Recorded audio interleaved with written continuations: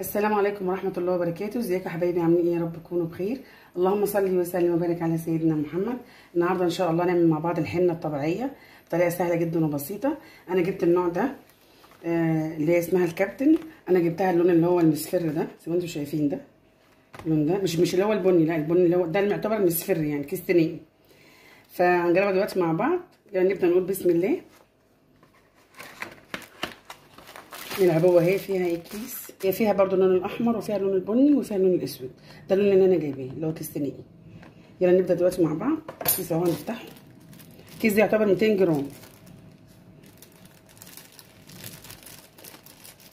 حطي بقى على حسب كمية شعرك.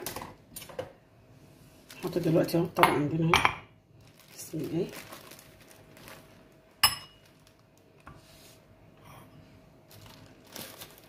ادي كده اتنين تلاتة. أربعة خمسة نزود كمان شوية. ادي كده ستة نحط عليها مية مغلية. بسم الله الرحمن الرحيم. بالشكل ده كده. ونعجن. بالشكل ده كده. لازم مية مغلية. أنتوا عارفين الحنه ليها فوائدها طبعا جميلة للشعر. وأحسن من الصبغات اللي هي اللي بره دي. بتضر الشعر لكن كده إيه؟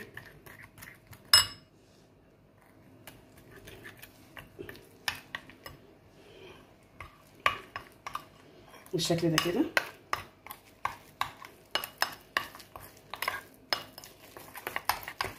لغاية ما تديني إيه شكل كده العجينه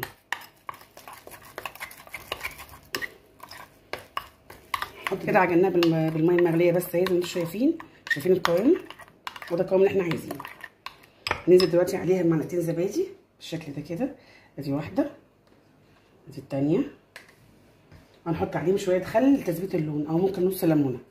عندك نص ليمونة حطي عندك خل حطي بالشكل ده كده.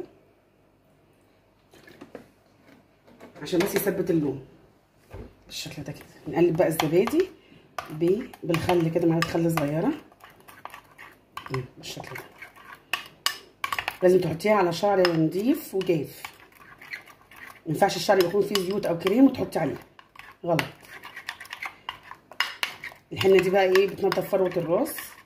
لو فيها أي التهابات أو أي حاجة وبتنعم الشعر. تدي لون تحفة لون طبيعي تحفة. أحسن من الصبغات اللي هي إيه؟ بره في الصيدلية. مفيهاش أمونيا ولا فيها أي حاجة. طبيعية كلها. زي ما أنتم شايفين كده. شايفين القوام؟ يلا اعملي الصبغة. يلا ودلعي نفسك كده قبل العيد. كل سنة وأنتم طيبين. شايفين؟ هو ده القوام اللي إحنا عايزينه. تحطي بقى كمية الحنة على حسب إيه؟ طول شعرك. اهو بالشكل ده كده. هنسيبها دلوقتي تخمر. هنغطي عليها بال stretch wrap وهنسيبها تخمر لمدة ساعة. يا رب أكون أفدتكم يا رب العالمين. ما تنسوش تحطوا الفيديو like وشاركوا في القناه وتفعلوا الجرس.